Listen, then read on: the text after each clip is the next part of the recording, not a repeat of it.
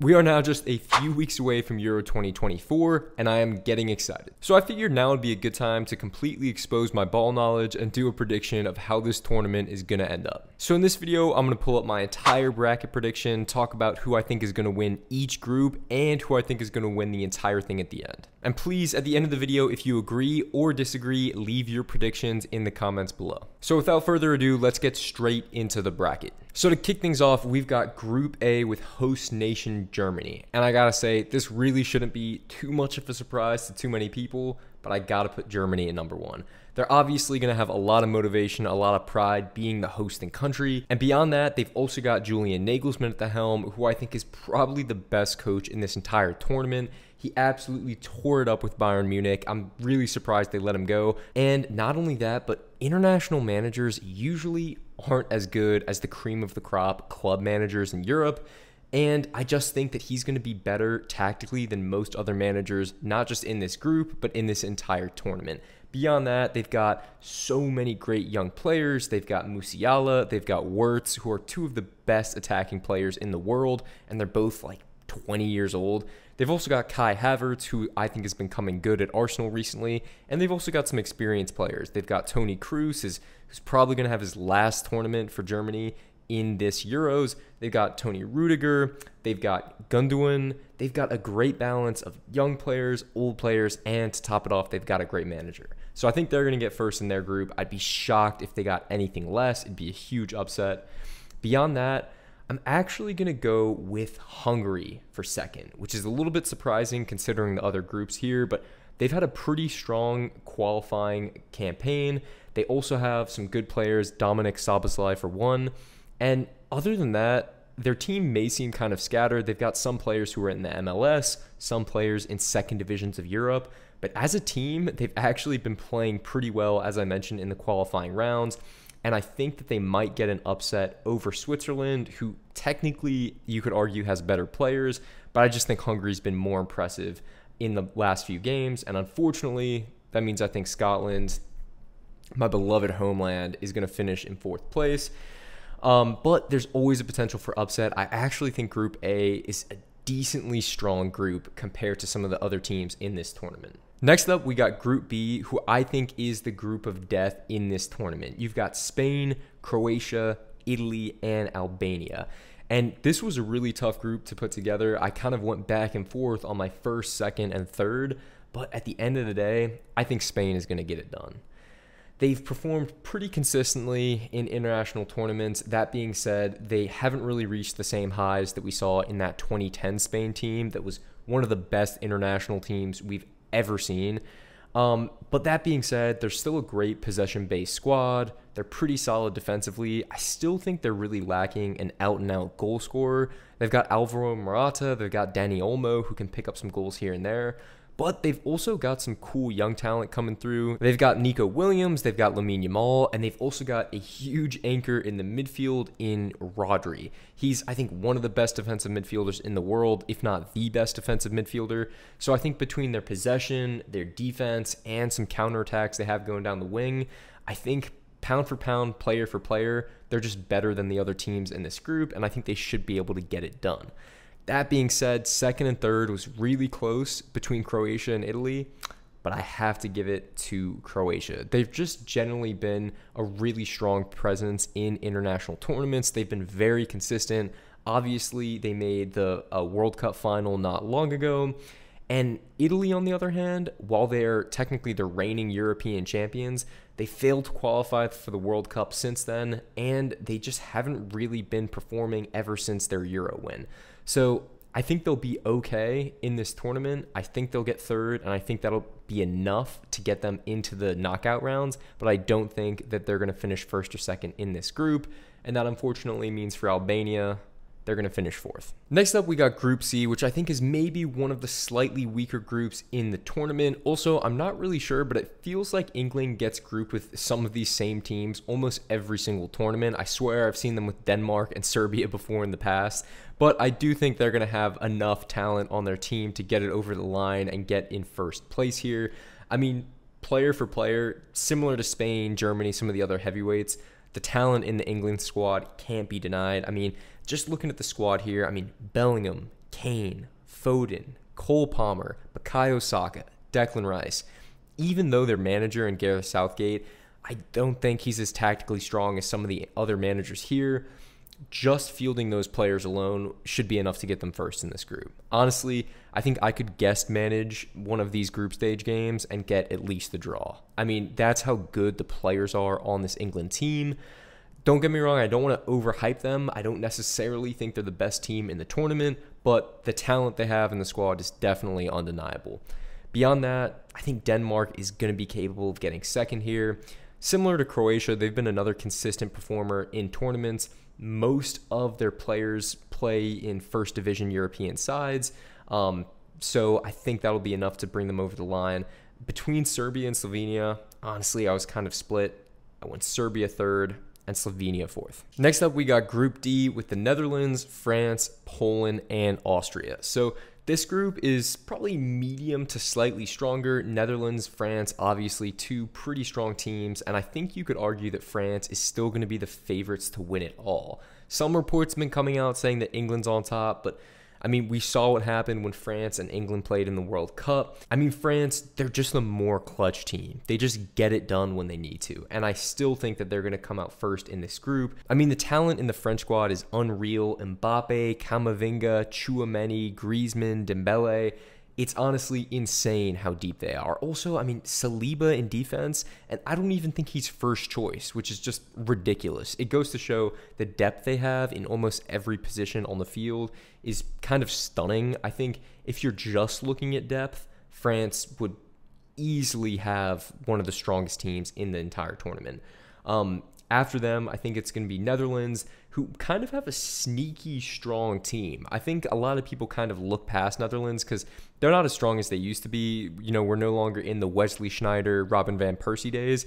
But I mean, they've got some good young players Xavi Simons, Nathan Ake, Cody Gakpo, and all of those offensive young players are sitting in front of a back line that has Virgil van Dijk. I mean, that's pretty scary. We saw that they, I mean, easily dismantled the United States in the World Cup. Granted, the U.S. aren't that strong. But I mean, Netherlands could be a dark horse in this tournament. I wouldn't be surprised if some people have them going as far as quarterfinals, maybe even semifinals. After that, I was kind of split between Poland and Austria, but ultimately, I think uh, maybe a, a few good appearances from Lewandowski is going to be enough to get Poland into a strong third place finish and then Austria in fourth. Group E, we've got an interesting one with Ukraine, Slovakia, Belgium, and Romania. So you would typically say in previous years that Belgium would be the clear favorite to win this one, and I still think they will, but it's not going to be as convincing as years past because Belgium's golden generation has pretty much left us. There's no more Eden Hazard. You could say Kevin De Bruyne is maybe starting to wind down slightly towards the final years in his career. Same with Romelu Lukaku. But I also think that those players will probably be wanting to make a statement in this tournament. So I expect, you know, Lukaku, De Bruyne, they're going to be wanting to put this tournament and this team on their back and get as far as they can. But keep in mind, Belgium have a few young players that I think will want to make a difference in this tournament. They've got Jeremy Doku, they've got Youri Tielemans. So it isn't just an old generation of stars that are walking out the door. They've got some young talent as well. They've got new management. They're no longer under Roberto Martinez. So I think there's some potential for the squad. I'm really interested to see how far they go. Then after them, kind of a wild card as to who could finish second in this group. I think people will pick different teams for different reasons, but I gotta go for Ukraine. Partially because I really want to see what Mykhailo Mudryk might be able to do at the international level for his team. Ukraine also have a few other players like Mykolenko. They also have Zinchenko from Arsenal.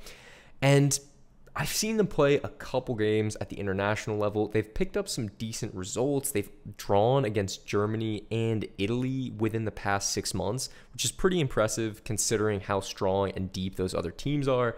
So I think they might have enough to maybe get some points against Slovakia, against Romania, maybe even sneak a draw against Belgium. I'm going to have them in second. Then I'm going to have Slovakia, followed by Romania, in fourth. And then finally, we got Group F, which is kind of a similar situation to Group E, where it feels like the first place team almost picks itself in Portugal. who also have such a strong squad, so many attacking players, so many creative players on Portugal. They got Bruno Fernandes, Bernardo Silva, Rafael Leao, and on top of that, they got some good defenders as well. Ruben Dias at center back is always going to be hard to get past. And I think that they have a pretty well balanced team overall, you know, strong midfield, strong wingers. And there's pretty much no team in this group that I think could realistically challenge them for that first place spot. I would be shocked if a team like Georgia, Czech Republic, or Turkey could take that first place spot off of Portugal. So I'm going to have them at one. Second, it's kind of a free for all, and I kind of wanted to go for the underdog here. I got to go for Georgia. I mean, I haven't seen Napoli play that much, but the highlights and some of the scenes I've seen from um, Kvaratskhelia have been amazing. And I don't know if you guys have seen some of the other names on that Georgia team, but I just want to see commentators try and pronounce every player that they have. So the further they get in the tournament, the better. Um, so beyond that, Turkey, you could argue their favorite to finish second, but their run of form hasn't been amazing in the qualifiers. I'm going to put them at third, and then Czech Republic at fourth. And then, as far as the best third place teams after the group stage has been completed, I'm pretty much going to go with the first four that you see here. I think they're going to get just enough points through maybe a win or some draws to just scrape through to the knockout round. So that's going to be Switzerland, Italy, Serbia, and Poland, which means Slovakia and Turkey will also be knocked out. Now, moving on to the round of 16, we got Spain versus Switzerland. I think Spain is going to come away victorious in that one. Next up, we got Germany versus Denmark. No crazy upsets yet. Going to go with Germany in that one as well. Next, we got Portugal and Serbia. Going to go with Portugal on that one. Then Netherlands and Ukraine. I think Netherlands, the dark horse of the tournament, are going to win that one as well. Next up, we got an interesting matchup with Belgium and Italy. I still think that Italy are going to be struggling a little bit, but I think ultimately they're going to have a little bit more to play for considering that they were the previous champions of this tournament. I feel they're going to be really motivated to get far in this Euro competition as well. And I just don't know if Belgium is still going to have that superstar power that they had from a few years ago. So I think it'll be a close game, but I think Italy just eke out the result there. Next, we've got France versus Georgia. I'd love an underdog story, but let's be realistic. I think France is going to come away with the win there. Then we got England versus Poland. I think England's going to win that one. And then Hungary versus Croatia. I think that's going to be a great game, but I think Hungary is going to get an upset on this one. Definitely going to be an underdog story in that matchup, but I think they're going to get the win. Now, quarterfinals, this is where it gets really tough to pick these outcomes because all the teams that are left are going to be really strong. Spain versus Germany. Obviously, I think Spain is going to keep most of the possession throughout the game, but I feel like Germany has more offensive firepower and surprisingly a little bit more creativity at the front compared to Spain. I just think that their personnel are going to get them the win in this game. I think Spain is going to play well, but I just don't know if they have enough goals in them to beat Germany. And for that, I'm going to have Germany advance there. Portugal versus Netherlands. Oh, this is so hard to call because I honestly think Netherlands might have a better overall style of play. I think they're maybe slightly more well balanced as a team as well. But I think it's going to be close. Probably Portugal on penalties for that one, but it's going to be really, really close. Next up, we got Italy and France. Italy, well, I think they're good enough to make it to the knockout stages. They just don't have a team that's on the level of the French. And for that, I think France is going to go through. Could be close, but France is just too strong. And then England versus Hungary. I think this is where Hungary's dark horse path is going to end. I think England will just be able to get the win. Now we're going into the semifinals of the tournament. And God, this is a matchup I really do want to see Germany versus Portugal. I think these are two of the teams with some of the most creativity, some of the most offensive firepower. I mean, Germany, you're going to have Jamal Musiala, you're going to have Florian Wirtz, and then Portugal is going to have Bruno Fernandes, Bernardo Silva. I mean, there's so many different ways this game can go. I think both teams are actually pretty strong defensively as well. I think Portugal's gotten stronger defensively than they've been in previous tournaments. So I don't actually see it being a really high scoring game. Could just be a 1 0, could be a 2 1. But I think Germany maybe just because they have that host nation confidence behind them, I think that they're going to pick up the win and I think they're going to get all the way into the final. Next up, England versus France. This is the rematch of the game that they played in the World Cup where France went through off of a beautiful Tchouameni goal from outside of the box. Harry Kane obviously missed a crucial penalty that could have tied the game up and gave England a chance of going through.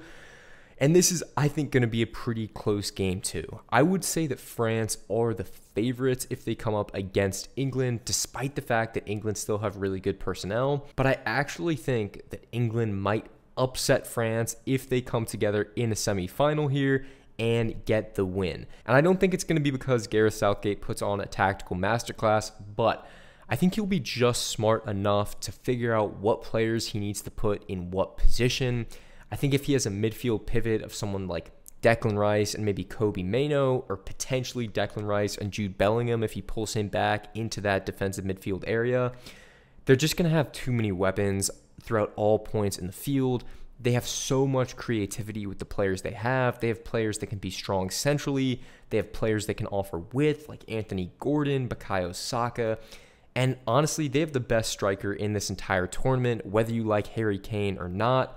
And I think they have just enough solid defenders to plug up any holes they have in the back.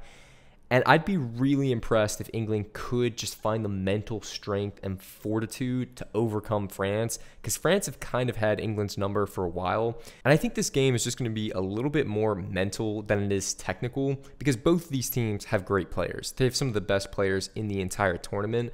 But I just think that England, those players, they're going to feel a little bit more passionate about getting a result in this game just because of the loss they suffered to France in the World Cup. So I'm going to go with England to make it to a second successive Euro final. And that means we would have a Euro 2024 final of Germany versus in England, which would also be a rematch of the 1966 World Cup final between West Germany and England, which obviously England ended up winning.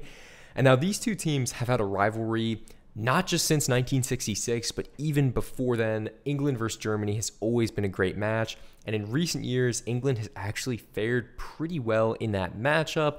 There was obviously the 2010 World Cup where Germany defeated England. I remember that Frank Lampard shot coming off the crossbar, bouncing into the goal, then bouncing 20 feet out. God, that was such a frustrating game to watch live. But then in recent tournaments, England's actually defeated Germany and been slightly the better team. Germany has gone through kind of a manager crisis within the last three years as well. But now that they have Nagelsmann, they're hosting the tournament, and they have so many great young players that we've talked about, like Musiala, like Wirtz. I actually think that Germany is going to have the upper hand coming into this game, even though England will be the moneyline favorites. They'll be the betting favorites if they ever come up against Germany in this tournament. But I actually think that Germany is going to win Euro 2024. I just think they have too many factors that are in their favor. They've got the best coach in the tournament. They've got some of the best young players in the tournament. They have a very well balanced squad. And on top of all of that, they're hosting the games. I think the whole tournament is going to feature some really close games. It's also going to feature some upsets. And as much as I would love to see England lift the trophy as an England fan, I think Germany is going to have enough to get it done. And that is going to do it for this video. Please let me know in the comments below who do you think is going to win Euro 2024? Do you have any dark horses that you think are going to get really far in this tournament? Who do you think is getting slept on right now? And who do you think might get upset early on? Thank you guys so much for watching. Like if you've enjoyed the video, and I will see you in the next next one.